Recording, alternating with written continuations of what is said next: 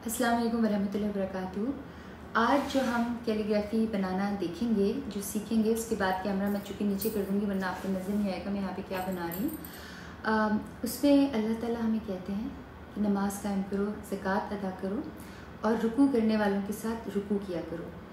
तो I am sure कि आप मेरी कैलीग्राफी जब देखते हैं और लोगों तक पहुँचाते हैं तो आप इसके मतलब पर भी गौर करते हैं, क्योंकि मेरा मकसद जो है वो सबसे ज़्यादा बड़ा यही है कि खूबसूरत अल्फाज को आप देखते हुए ये सोचें कि इसको, इसमें अल्लाह ताला ने हमें क्या ऑर्डर्स दिए।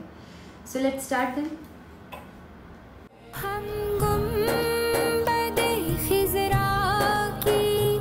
चौखट